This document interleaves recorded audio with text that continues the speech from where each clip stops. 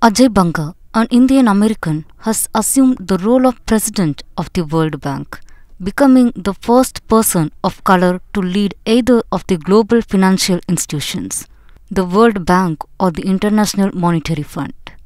Ajay Banga became the first Indian American to hold the position of president of the World Bank.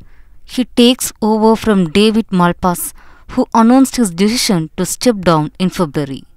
Prior to his role at the World Bank, Banga served as vice chairman at General Atlantic and hold the position of president of CEO at Mastercard, a global organization with a workforce of nearly 24,000 employees. Selected by the World Bank's executive director for a five-year term, Banga's appointment was announced on May 3. President Joe Biden had previously nominated him for this position.